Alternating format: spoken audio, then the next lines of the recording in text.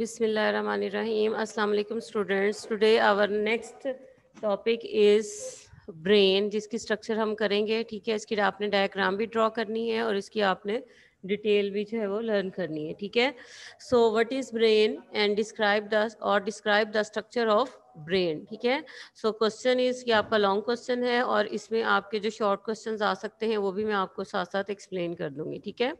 So first you will we will start what is brain so a brain is very important and complex organ of our body the thoughts, ideas, wishes, emotions and feelings happen inside our brain, ठीक है? Brain को आपको पता है कि आप किस लिए यूज़ करते हैं। जितने भी थॉट्स हैं, जितने भी फीलिंग्स हैं, जो भी आपकी बॉडी के एक्शंस हैं, वो सब आपका जो है, वो ब्रेन जो है, वो कंट्रोल कर रहा है। That is the part of your central nervous system ठीक है? So in other sense if you will say that is the CPU of your body ठीक है? आपकी बॉडी का एक सीपीयू है, एक आपका जो ब्रेन है वो पूरी बॉडी के जितने भी फ़ंक्शंस हैं उनको ये कंट्रोल कर रहा है, ठीक है?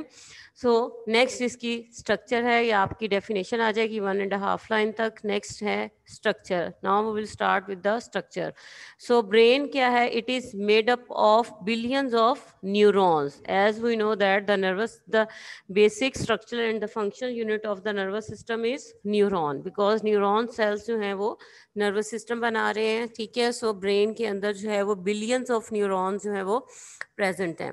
The brain is protected by the bony skull ठीक है? बिकॉज़ ब्रेन क्या है? It is very soft part of our body तो अगर इसको और बड़ा ही सेंसिटिव पार्ट है और इसको प्रोटेक्ट करने के लिए अल्लाह ताला ने इसको जो है वो एक बड़ा ही हार्ड बोनी स्कल जो है वो उसके अंदर एनक्लोज होता है ताकि उसको अगर कहीं पर खुदा न खास्ता कोई आपका जो है वो सर हिट हो गया या हेड आपका कहीं पर हेड इंजरी हो गई है तो उसमें ये होता है कि आपका जो इनर जो है वो सॉफ्ट पोर्शन होता है वो प्रोटेक्टेड रहता है और उसको कोई नुकसान जो है वो नहीं पहुँचता और जो स्कल है वो उसको उसको प्रोटेक्शन दे रहा है।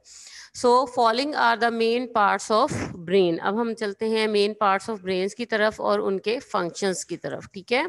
So your next heading is parts of brain parts of brain है, ठीक है? First we will start with cerebrum look at the diagram also आपको सेरिब्रम जो है वो यहाँ पर नज़र आ रहा है. That is the largest part of the brain ठीक है? ये आपको जो कॉन्वलेटेड सी स्ट्रक्चर नज़र आ रही है, ठीक है? और दैट इज़ कॉल्ड सेरिब्रम और ये सबसे बड़ा और सबसे लार्जेस्ट पार्ट है ब्रेन का.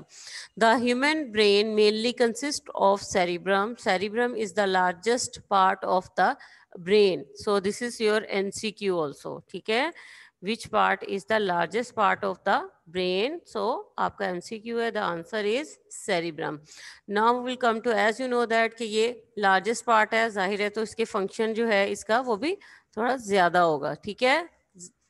So the cerebrum controls different activities such as ठीक है कौन कौन सी एक्टिविटीज़ जो हैं वो सेरिब्रम कंट्रोल कर रहा है सींग ठीक है, जो देखना आप देखते हैं, फिर उसके बाद आप जो सुनते हैं हियरिंग है थिंकिंग है, जो आप सोचते हैं स्पीकिंग है आपकी स्लीपिंग रिमेम्बरिंग ठीक है? जो आपकी मेमोरी है, याददाश्त जो है, ठीक है, उसको कंट्रोल कर रहा है।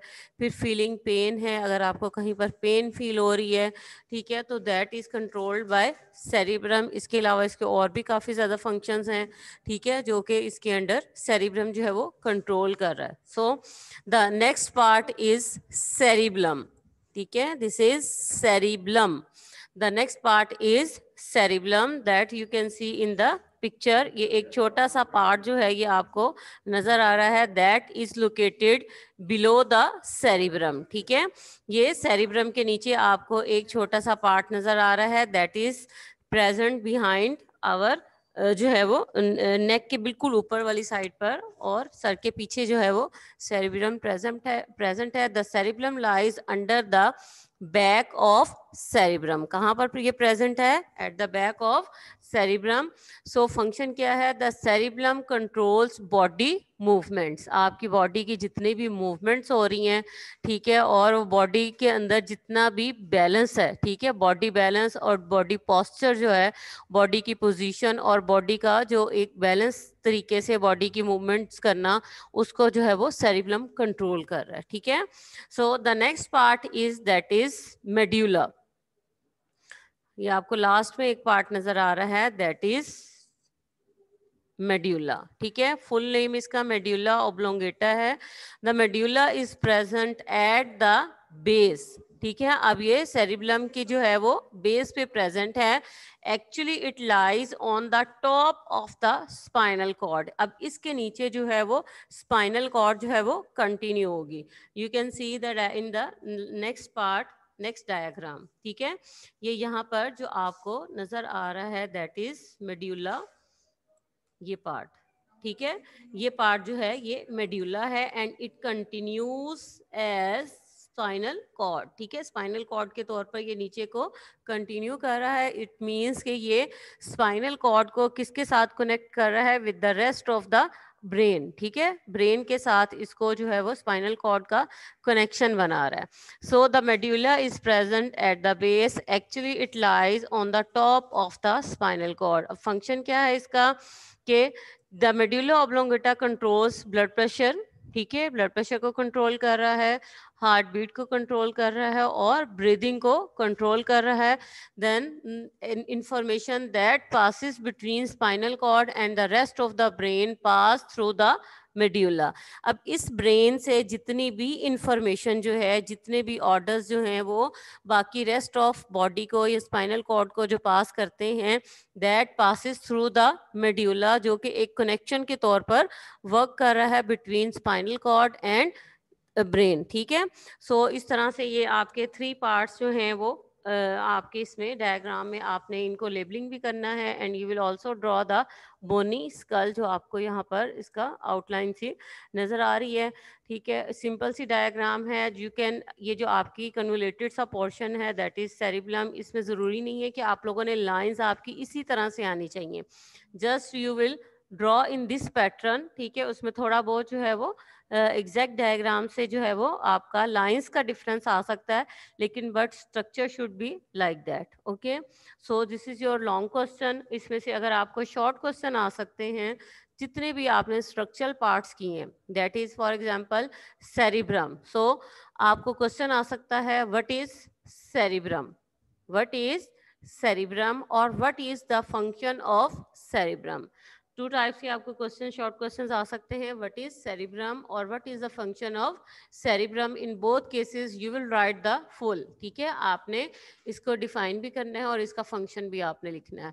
So next question can be what is cerebellum what is cerebellum और what is the function of cerebellum ठीक है? और इस तरह से आप लोगों ने इसको जो है वो पूरा इसी तरह कंप्लीट लिखना है सेरिब्लम और उसका function the next question the short question what is medulla what is medulla so you will write medulla and function of medulla इसका फ़ंक्शन जो है वो सेपरेट भी आपको आ सकता है. What is the function of medulla before going to do this long question आपने इसका अच्छी तरह से पहले डायग्राम की प्रैक्टिस करनी है। You will practice on your rough registers और rough copies after that you will draw the neat and clean diagram five times आपने ये डायग्राम जो है वो आपने ड्रॉ करनी है and you will draw in a box ठीक है? बॉक्स में आपने ये डायग्राम ड्रॉ करनी है। इसके अलावा इसमें जो एम आ सकते हैं, आपको अबाउट फ़ंक्शंस ठीक है? जैसे लार्जेस्ट पार्ट तो मैंने आपको बताया कि लार्जेस्ट पार्ट ऑफ़ ब्रेन है, वो कौन सा पार्ट है? इसके अलावा आपकी जो है वो seeing hearing and thinking which portion of brain जो है which part of brain control these activities ठीक है? And which part of brain controls the body movements और बैलेंस और पोस्चर, इस तरह से आपको एम जो हैं वो इस तरह से इसमें आ सकते हैं। और which part convey the information that pass between spinal cord and rest of the brain तो आपको ये पता होना चाहिए that is pass through the medulla ठीक है? या आपको इस तरह से शॉर्ट क्वेश्चन में भी आ सकता है, इसमें से एम भी आ सकते हैं, और शॉर्ट में आपको सेपरेट जो है वो डायाग्राम भी आ सकती है, ठीक है?